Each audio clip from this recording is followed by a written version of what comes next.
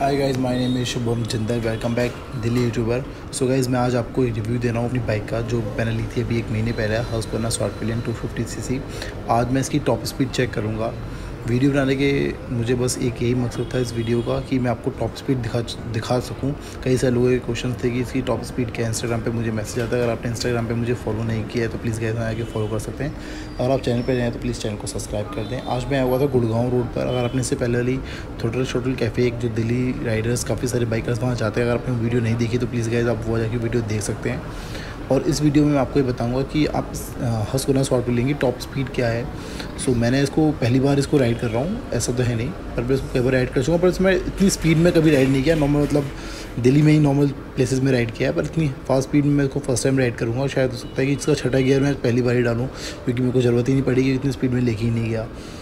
और इस बाइक के अंदर छः गियर होते हैं, अगर आपको नहीं पता है इस इन्फॉर्मेशन वीडियो है आपके लिए काफ़ी अच्छी है। अगर आप पहले पहली बार आप लेना चाह रहे हो बाइक को तो प्लीज़ आपके इसलिए बाइक से रिलेटेड मैंने कई सारी वीडियोस बना रखी हैं, आप वो देख सकते हैं।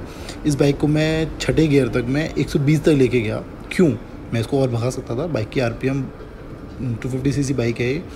बट इसकी जो आप रोड देख रहे हो रोड काफ़ी डिस्टर्ब रोड था। काफ़ी मतलब रोड बीच बीच में कंक्रीट वैसी लग रही थी।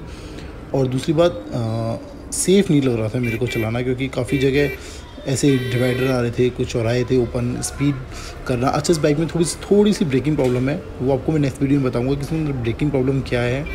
बाइक वैसे एकदम मौसम है। छठे गियर में 120, 130, 140 तो आराम से पहुँच जाती है। और बाइक की एवरेज देखी जाए तो एवरेज के ऊपर मैं एक अलग वीडियो बनाऊँगा क्योंकि ऐसे समझ में नहीं आएगा एवरेज मुझे लिए हुए भी एक महीना हुआ है बट एवरेज अंदाज़ा अंदाज़ा मेरे हिसाब से मैं आपको ऐसे क्यों बताऊँ? बट मैं चाहूँगा कि उसके ऊपर आपको अलग एक वीडियो बना के दिखाऊँ। मैं इसकी टॉप स्पीड की बात कर रहा हूँ। उस पर मैंने वाइब्रेशन की वीडियो बनाई हुई है कि कई सारे लोगों को डर था कि वाइब्रेशन तो नहीं होती हंस वरना में। तो गए इसके अंदर हंस हंस वरना के अंदर कोई वाइब्रेशन नहीं होती। आप देख सकते हो, अगर आपको मीटर में दिख रहा हो तो मैं इसकी एटी सेवन स्पीड में चला रहा हूँ।